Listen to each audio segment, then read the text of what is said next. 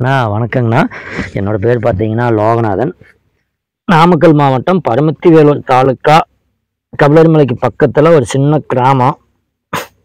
அங்கேருந்து தான் இப்போ நம்ம பேசுகிறோம் இப்போ பார்த்தீங்கன்னா நம்ம இயற்கை விவசாயம் ஒரு ஏழு எட்டு வருஷமாக பண்ணிக்கிட்டு இருக்கிறோம். உங்களுக்கு இயற்கை விவசாய சம்மந்தமான டவுட்டுகள் இருந்ததுன்னா தொண்ணூற்றி ஏழு எண்பத்தேழு நூற்றி ஐம்பத்தஞ்சு நானூற்றி அறுபத்தொன்னுக்கு ஃபோன் பண்ணுங்கள் பார்த்தீங்கன்னா இப்போ நம்ம பண்ணுற இயற்கை விவசாயத்தில் இதோட நாலாவது டைம் காளான் எடுத்துட்டோம். இந்த காளான் பார்த்தீங்கன்னா ஒன்றரை கிலோ கிட்ட வரும். அந்த அளவுக்கு வெயிட் இருக்குது பாருங்க. இது வந்து நம்ம இயற்கை விவசாயம் பண்ணுறதுனால மண் மாறிடுச்சு அப்படிங்கிறதுக்கான ஒரு அடையாளம். மண்ணில் இருக்கக்கூடிய கெட்ட நுண்ணுயிரி பாக்டீரியாக்கள்லாம் அழிஞ்சதுனால தான் நல்ல பாக்டீரியாக்கள் உற்பத்தி ஆகி இந்த மாதிரி காளான் வருதுன்னு சொல்கிறாங்க இப்போ இதனால் வரைக்கும் பார்த்தீங்கன்னா சின்ன சின்ன காளானாக வந்துக்கிட்டு இருந்துச்சு. இந்த நாலஞ்சு டைம் தான் வந்து நமக்கு ஒரு கிலோவுக்கு மேலே அளவுக்கு இப்போ காளான் வந்துருச்சு. இப்போ இப்போ பார்த்தீங்கன்னா காட்டு. நம்ம காட்டில் இந்த மாதிரி காளான் தான் வருது. இதாங்கன்னா குப்பை காளான். நம்ம காட்டில் குப்பை போட்டோம்னா குப்பையிலேருந்து வரக்கூடிய காளான் இந்த காளான் தான். இப்போ இந்த காளான் வந்து இது மாதிரி காளான்கள்லாம் நல்ல காளான். பார்த்தீங்கன்னா அடியிலையும் வெள்ளையாக இருக்கணும். எவ்வளோ வெள்ளையாக இருக்குன்னு பாருங்கள் வாசனையும் நம்ம காளானோட வாசனை தான். இதனுடைய தடிமனை பாருங்கள் எவ்வளோ குண்டாக இருக்குன்ட்டு. இப்போ இது எவ்வளோ நம்ம இடம் வைப்போம். கேரண்டியாக ஒன்றரை கிலோ நூறு கிராம் முன்ன பின்ன ஒரு அவ்வளோ வெயிட் இருக்குது ஏன்னா தூக்கிலேயே தெரியுது. இந்த காளானுடைய ஸ்பெஷல் என்னன்னு பார்த்தீங்கன்னா நம்ம ஒரு இதுக்கு முன்னாடி வீடியோ போட்டப்போ ஒரு சயின்டிஸ்ட் ஒரு அண்ணா ஃபோன் பண்ணி என்கிட்ட பேசினாரு. தம்பி இந்த காளான் நம்ம காட்டில் வருதுன்னா அது என்னன்னு தெரியுமா? அப்படின்னாரு. சொல்லுங்கண்ணா அப்படின்னதுக்கு அவர் என்ன சொன்னாருன்னா இது மாதிரியான காளான் நம்ம காட்டில் இருக்கையில் இந்த காளான் வந்து ஒரு குறிப்பிட்டது தூர சொன்னார் சரியாக ஞாபகம் இல்லை. அவ்வளோ ஒரு கிலோமீட்டர் கூட வச்சுக்கலாம். அவ்வளோ தூரத்துக்கு நம்ம தென்னை மரம் மாமரம் அல்லது செடிகள் எது வச்சுருந்தாலும் அதுக்கு ஒரு பிரச்சனை வேறு சம்மந்தமாக வருதுன்னா இந்த காளான் நம்ம காட்டில் இருக்குது அப்படின்னா இந்த காளான் வந்து அந்த மரத்துக்கு அல்லது செடிக்கோ உடனடியாக அந்த செய்தி அனுப்பிவிடுங்களாம்மா என்னன்னு பார்த்தீங்கன்னா உங்க- உனக்கு வந்து இப்போ இந்த பிரச்சனை வர்ற கண்டிஷனில் இருக்குது அல்லது வைரஸ் நோய் வருது அல்லது வாடல் நோய் வருது நீ அதுக்கு தகுந்த மாதிரி ஏற்படுத்திக்க அப்படின்னு சொல்லக்கூடிய அளவுக்கு இந்த காளானுக்கு ஒரு மகிமை உண்டு. இப்போ இது எதனால் அழிஞ்சிருச்சுன்னு பார்த்தீங்கன்னா நம்ம ரவுண்ட் அப்பு களைக்கொல்லி இந்த மாதிரியான கெட்ட நுண் கெட்ட ஒரு கெமிக்கலை வந்து நம்ம காட்டில் பயன்படுத்துறதுனால தான் இது மாதிரியான காளான்கள்லாம் வளர்றதில்ல. அதனால் கெமிக்கல் இருக்கிற இடத்துல இது வராது அப்படின்ட்டு அவர் சொன்னார். நம்ம இவ்வளோ நாளாக காளான் நம்ம சாப்பிட்றதுக்காக மட்டும்தான் பயன்படுத்தினோம். ஆனால் இப்போ அவர் சொல்லக்கூடிய வார்த்தையை பார்த்தோம்னா எனக்கே ஆச்சரியமாக போச்சு. ஒரு காளான் வந்து இந்த அளவுக்கு மண்ணுடைய தன்மை அறிஞ்சால் எவ்வளோ தூரமாக இருந்தாலும் மண்ணுக்குள்ளேயே ஒரு மரத்துக்கு செடிகளுக்கு வந்து செய்தி அனுப்பும் அப்படிங்கிறது எவ்வளோ பெரிய சந்தோஷமான விஷயம். அதனால் நான் என்ன சொல்ல வரேன்னா நம்மளுடைய மண்ணை நம்ம தான் பாதுகாக்கணும். மண் வளம் இருந்தால் மட்டும்தான் நம்மளால் மீண்டும் மீண்டும் விவசாயம் செய்ய முடியும்.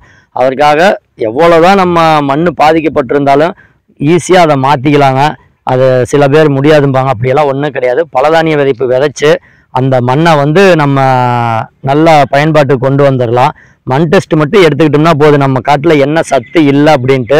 அதுக்கு தகுந்த மாதிரி தாவர விதையெல்லாம் இருக்குது அந்த அந்த மண்ணுக்கு என்ன சத்து தேவை? அப்படிங்கிற மாதிரி உதாரணத்துக்கு பார்த்தீங்கன்னா போரான் சத்து பத்தலையா நுண்ணூட்டத்தில் நம்ம எருக்கில் போட்டுக்கலாம். இல்லை நம்ம மண்ணில் தலைச்சத்து இல்லையா இலைதலைன்னு சொல்லக்கூடிய இது பக்கத்தில் இருந்தால் வெட்டி போட்டுக்கலாம். அல்லது நம்ம சனப்பை தக்கப்பூண்டு இந்த மாதிரியான கொழிஞ்சி வகைகளை போட்டு நம்ம அந்த மண்ணுக்கு சத்தை கொண்டு வந்துடலாம் ஒரு டைமுக்கு ரெண்டு டைம் வச்சோம்னா அந்த மண் வந்து பழைய நிலைமைக்கு வந்தது. நம்மளால் நல்ல ஈல்டு எடுக்க முடியும். இப்போ பாருங்கள் இப்போ இந்த இடத்துல நம்ம எவ்வளோ மண்புழு இருக்குதுன்னு பாருங்கள் பறிக்கும் போதே வருது. இயற்கை விவசாயம் மண்ணில் இந்த மாதிரி தான் மண்புழுவெல்லாம் வருங்க பாருங்கள் தண்ணிட்டு தான் இந்த மாதிரி அடுக்கடுக்காக மண்புழு ஒரு தடவை பறித்தாவே இவ்வளோ வரணும் இந்த டங்கட்டு நம்ம போட்ட தலையெல்லாம் பாருங்கள் அப்படியே எப்படி இருக்குன்ட்டு இப்போ போட்டு ரெண்டு மாதம் ஆக போகுது அப்படியே கொஞ்சம் கொஞ்சமாக மக்கிட்டு இருக்குது. இந்த மாதிரி மக்கும் குப்பை இருந்தால் மட்டும்தான் நம்ம மண்ணில் வந்து அங்கக கார்பன் இருக்கக்கூடிய கரிம சத்து இருக்குது அது இருந்ததுன்னா மட்டும்தான் பிஹெச் லெவல் நார்மலாகவே இருக்குது அப்படி இருக்கும்போது தான் நம்ம செடிக்கு தேவையான சத்துக்கள் அனைத்துமே கிடைக்கும். நம்ம செடிகளும் நல்லா அதனுடைய வேலைகளை செய்ய பூ பூக்க வேண்டிய செடி பூ பூக்கும். காய் ஆக்க வேண்டிய செடி காய் ஆக்கும் இங்கே காட்டு. பாருங்க எத்தனை மண்புழுன்னு. இதோ. பறிக்கிறதுக்கே போக மாட்டேங்குது இந்த மாதிரி இருக்கணும் மண்புழு வந்து நம்ம காட்டில்.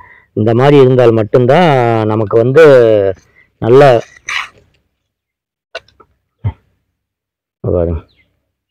தெரியுதா? இந்த. மாதிரி மண்புழு இருக்கணும்.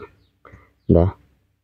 இந்த அளவுக்கு மண்புழு இதுவே கம்மி தான். ஒவ்வொரு தடவை பில்லு பிடுங்கும்போது பார்த்தீங்கன்னா அந்த பில்லுலேருந்து மண்புழு வரும். அந்த அளவுக்கு இருக்கணும். இந்த மாதிரி மண்புழு வந்ததுனாவே நம்ம மண் வளமாகிட்டு இருக்குது அப்படின்னு அர்த்தம். மண்புழு சும்மா வராதுங்க. நம்ம கடையில் வாங்கி போடுற உரத்தையெல்லாம் போட்டோம்னா வராது.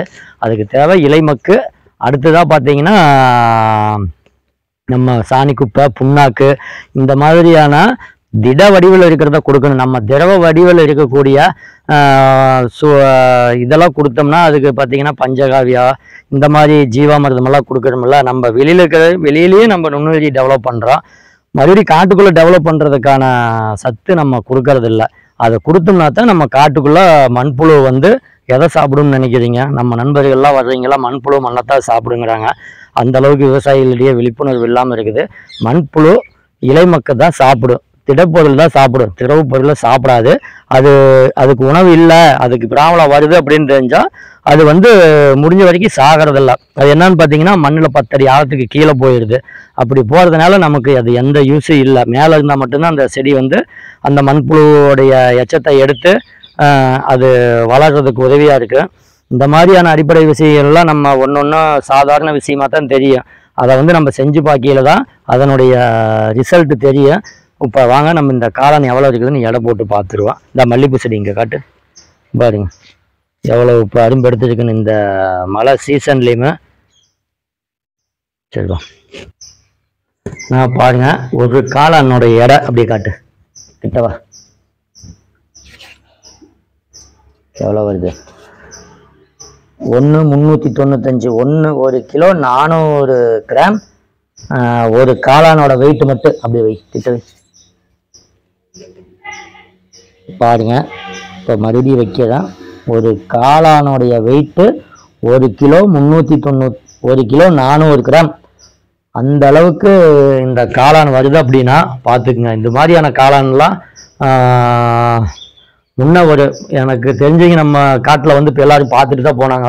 பெரியவங்க எல்லாம் என்ன சொல்கிறாங்கன்னா ரெண்டு மூணு தலைக்கட்டுக்கு முன்னாடி இது மாதிரி காளான் நாங்கள் பார்த்துருக்கோம். சொல்லியிருக்காங்க. அப்படின்னு தான் சொல்லியிருக்காங்க. அவங்க கூட பார்த்தது இல்லை அப்படின்னு தான் சொன்னார். ஒருத்தர் மட்டும்தான் பார்த்துருக்கேன் அப்படின்னு சொன்னார்.